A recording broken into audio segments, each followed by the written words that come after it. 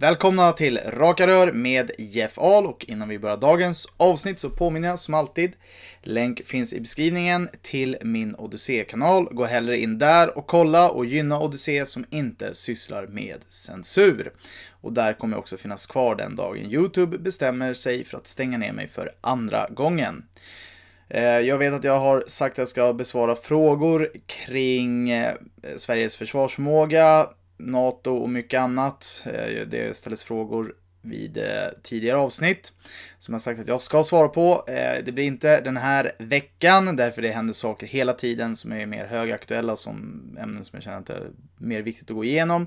Men vi tar frågorna förhoppningsvis nästa torsdag om inget exceptionellt händer såklart. Men nu händer det exceptionella saker hela tiden och det senaste är att polisen nu väljer att kapitulera inför de här invandrarklanerna som har härjat under påskhelgen.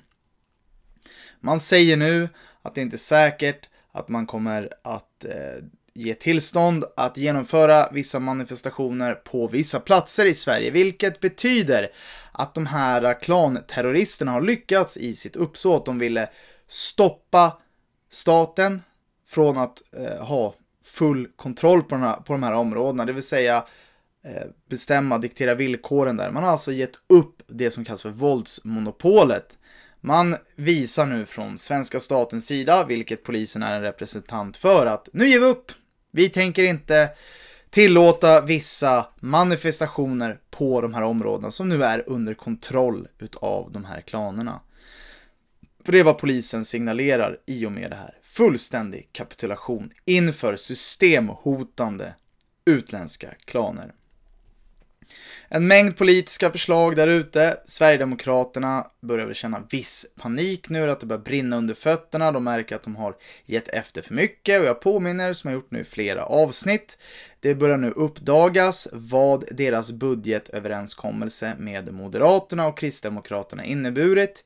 Och som sagt, det här är de siffror jag har kollat upp. Jag ska kolla upp så vi får nyare siffror också, men mellan 1 januari till 28 februari så beviljades över 12 000 medborgarskap till utomeuropeiska invandrare och 6 000 asylrelaterade uppehållstillstånd till utomeuropeiska invandrare. Och var kommer de här systemhotande klanerna från? Ja, utanför Europa, det är därifrån de kommer.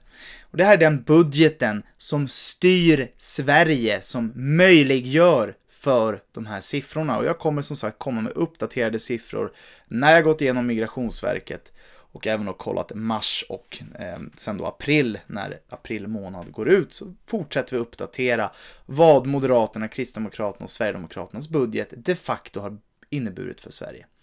I alla fall, Sverigedemokraterna går ut med ett utspel där man säger att äh, vi ska riva upp, upp, upp, eller riva upp uppehållstillstånden för de eh, som begår de här upploppen, de här våldsamheterna, terrorhandlingarna.